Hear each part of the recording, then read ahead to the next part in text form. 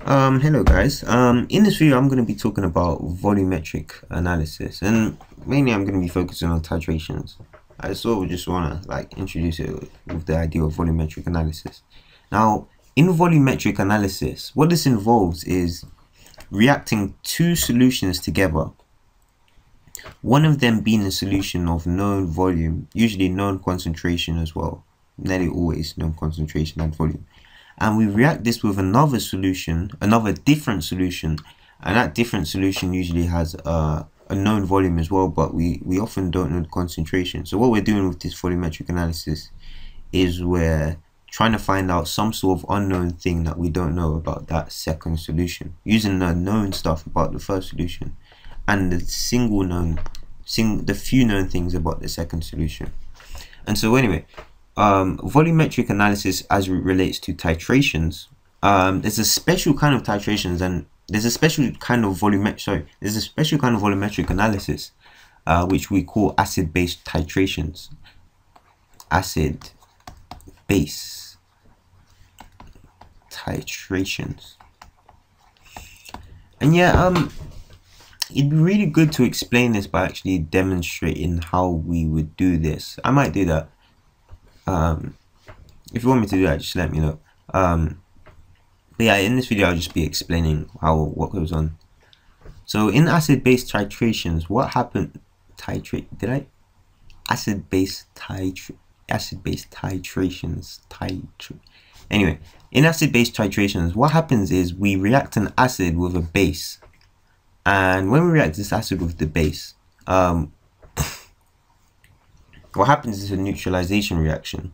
And so this is a volumetric sort of form of volumetric analysis because we're reacting two solutions. One is an acidic solution and one is a, a basic solution. And so and so through this with the known known known values or known properties of the either the acid or the base, we can find out unknown properties about either the acid or the base, depending on which one we, we know about. So when we're using when we're doing acid-base titrations what we usually do the way we usually react these two substances together in a way that we can actually measure the the reacting volume of the unknown is we usually use a titration um, apparatus. Titration apparatus I would probably use that as plural because there's more than one things involved in the reaction. But anyway um I will write this down here. So in the titration apparatus, the various uh, equipment which we use, we use a pipette, and a pipette is basically a device which we use to measure out the volume of the known the known solution. So maybe it would be if we had the acid, we would have a known volume of acid and we would know the concentration as well most of the time. And we'd have a device and you might have seen used this at school. We'd have a device and this device would usually have a sort of thing here which we could use to we basically like a uh like a um what is it like? You know like a if you have a a, a lighter like sort of like a lighter except we're using it for uh where we're spinning it and what happens is it it takes up liquid from a container which would be down here. And this would be full of the solution whatever solution we are. We're going to put in known the known volume. And this solution goes into the uh, conical flask device so I don't think red is a suitable color. I just change color. So we'd have a conical flask here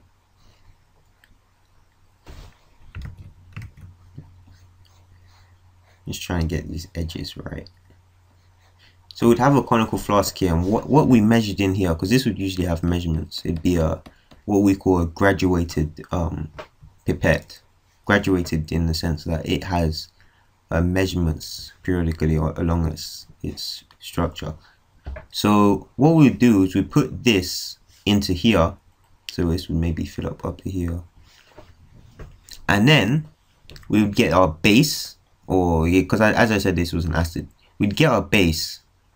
It could be other way around, but in this case, we'd get our base, and we would put our base into a burette. And the way we spell burette, B I U R E T, I believe, burette. And what the burette looks like is basically a glass cylinder, which is similar to the pipette, except the top is more open, and we can put liquids in there and it's got a sort of tap device near the bottom uh, so if I draw a burette what it looks like is we have a sort of tap device down here. And as you can see it's a sort of vertical tap slightly different from the taps we usually see. I think the last time I saw this it was sort of orange. Orange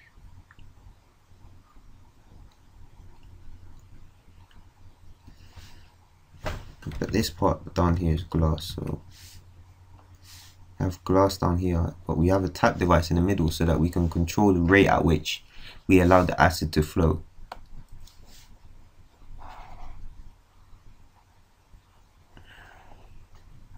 And so anyway we pour the, we pour the base since the acid is the known volume here this is the base. Oh no this is the acid. Yeah acid this is the acid this is acid we put in the acid yeah this is the base. So we allow the base to flow out into this conical flask. I'll just label this conical flask. Conical flask. I'll just label this as a container. And um, this would be a, a pipette and this isn't your kind of plastic pipette this is more of a, a glass type which we use for larger volumes than a usual plastic pipette would be able to carry at one time. So it, this would be the base and we'd have measurements. This would be graduated just like this is graduated we'd have measurements along here. And the weird thing about these two devices is that rather than 30 being down here 30 um well no no what I meant was rather than 30 being up here because you know you fill it up like this. Actually I think 30 is up here on this one maybe. So 30 up here. But on this burette because we're allowing it to flow outwards downwards rather than flowing in upwards the way our measuring system works on a burette is slightly different as you, than you'd usually expect. It starts at zero up here and it ends on a higher number say like 50 or something and this allows us to measure the volume which has been used from from that point. It allows us to measure the volume used to neutralize the acid. And that's that's why it would be inversed. And so what we do is we allow this to open and by twisting this so if you imagine this sort of twist. As we twist this the acid would start to well the base the base would start to flow out and it would start to drip into the acid. Now how would we know when the acid the base is completely neutralized the acid? How would we know? Well the way that chemists have got have, have have have solved this problem is by using something known as an indicator. And you probably come across indicators before. Uh, indicators are substances which change color when certain pHs or pH levels are crossed. So at first, with the, this acid mixed with the indicator might be a certain color, say yellow, yellow, and it might turn red after the experiment, after the base has, has, has neutralized it and and turn the solution slightly basic. Now obviously in the middle of this it will turn orange, so when it turns orange, I know orange and yellow, but yeah, pretend it's orange. So when it says orange, when it turns orange, um, we would know that this has been neutralized. And this states when it has been neutralized, that when the acid, when the, or when the base neutralized the acid, or acid neutralized by base. But when it's reached a point where the substance has been neutralized, we call this the end point. And the reason why we call this the end point is it, if you imagine you're doing your titration thing with your hand, like here. And this is flowing down. It's like din din din din din din. So this is flowing down. And the reason why I'm calling it the endpoint is because once it reaches that point when it changes color you stop it. So this process of sneaking down reducing in volume from up here stops. We have to end it. And so we call that the endpoint and that's the basically the end of the neutralization process as well so you could look you think you could think about it that way as well and so yeah. Now, as I said, as I said a, few, a, couple of seconds ago about this whole um the the concept of the the indicator. The indicator obviously needs to indicate indicate to us that when the nutrient when the process when the reaction has has finished so that we can stop it when we so that we can end it. And the properties which we would want to have for an, a suitable indicator is that it has one color when it's acidic and a different color when it's basic. And so that those kind of properties would make a pretty decent indicator. Now when we do this sort of experiment some of the things which we can actually find out using calculations which um, you've probably come across before but I'll explain how this relates to the titration part but using calculations, we can then use that information to find out maybe the molar mass of a particular substance in solution. We could find out the concentration. We could find out um, the number of moles of a particular um, substance in a solution. All these different sort of things we can find out by doing titration experiments. One thing I sort of want to do is work out the pH of Coca-Cola using a titration. I know I could just search on Google, but I think it would be fun to actually do it as an experiment. So if you would like me to do that, just let me know. Anyway, so the way uh, indicators work, um, actually I'm not going to go into that in this video.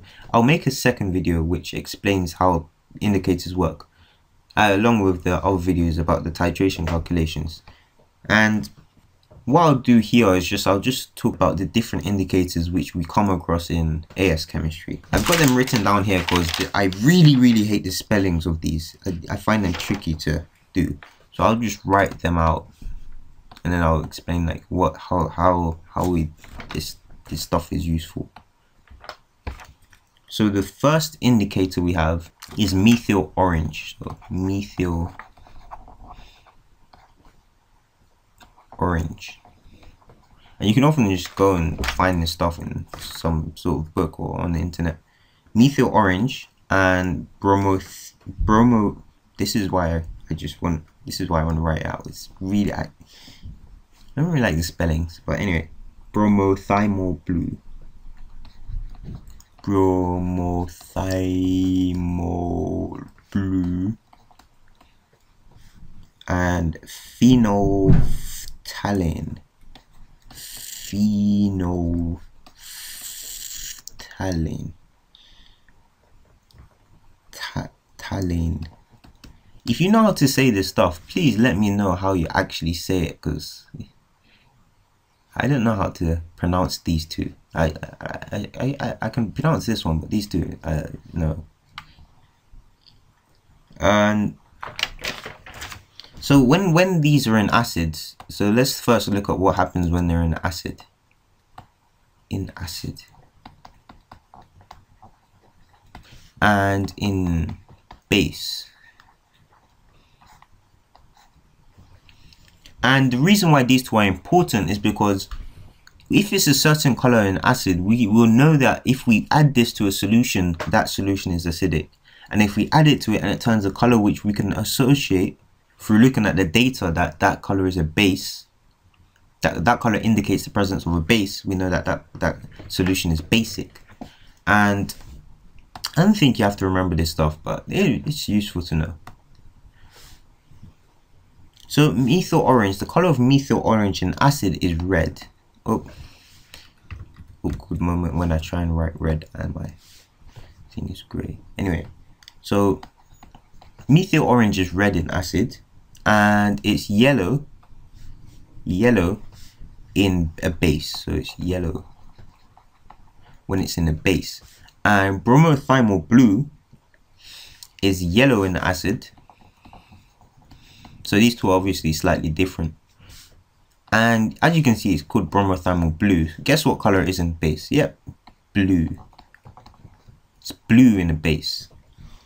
And phenol phenolphthalein phenol okay i'm just not gonna say that. Phenol okay um i really like saying this it feels weird. Anyway. How am i gonna represent this? Um well yeah the reason why i'm saying that is because this is in an acid this guess what color this is? Not available. Phenolphthalein is actually colorless.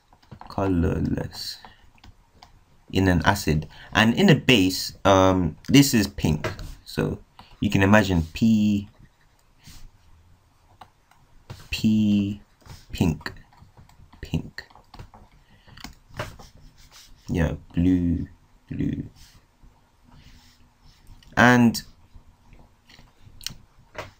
if we imagine the um, the transitional stages so if we imagine what happens between these stages I'm not going to actually do the colors for these but I'll just, I'll just write down the, the colors as words.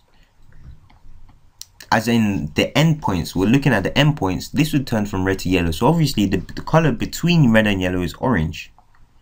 So if it's turned from, if the solution has been neutralized, it's going to be orange at the end point.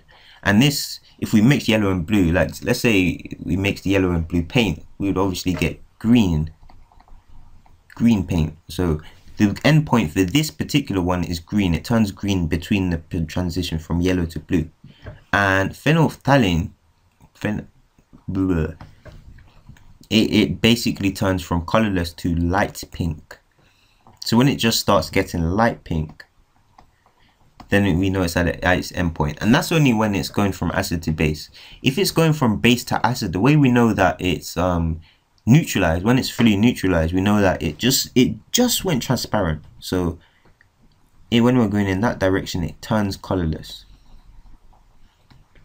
And yeah, so that's the, those are the transitions involved. So in next video, what I'm going to be doing is working through some calculations and I'll also be in another video explaining the concept of, of indicators. This is a sort of A2 idea, A2 chemistry, but I would like to explain it uh, for this right here. So yeah, um, that's the end of this video. Um, see you guys in the next video. See ya.